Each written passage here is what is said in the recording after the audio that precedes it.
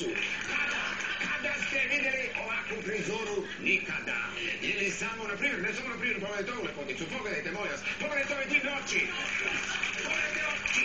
Kad ste vidjeli ovako oko kada? Kada? Nikada niste vidjeli ovako oko.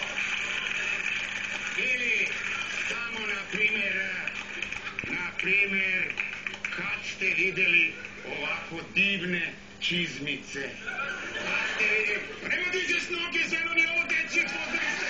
Čizme, čizmice, pa nemo, nemo. Nemoj skidaš čizmice, možda imaš pocepane čarapice.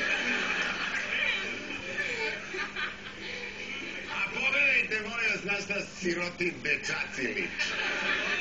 Normalno da moraju da imaju lepo imena. Pogledajte te uši. Pogledajte one uši. Vidi one uši.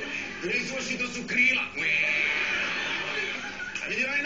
Rodinossoia, madura. A frizura é mai comoia. Mai comoia paranoia. Pogledaj onu frizuru. Ma nešta to, ou não onu frizuru.